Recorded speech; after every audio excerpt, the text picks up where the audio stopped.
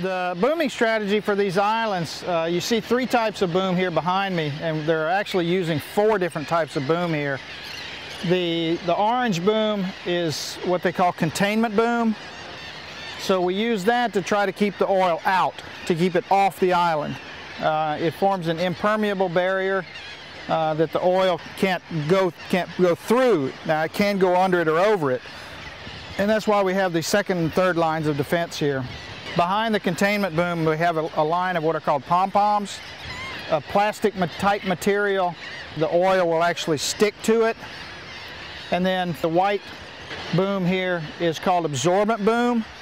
And it will, its purpose is to absorb and trap any oil that makes it past the first two lines. Uh, the neat thing about the absorbent boom is that it attracts oil and sucks up oil, but it doesn't suck up water very well.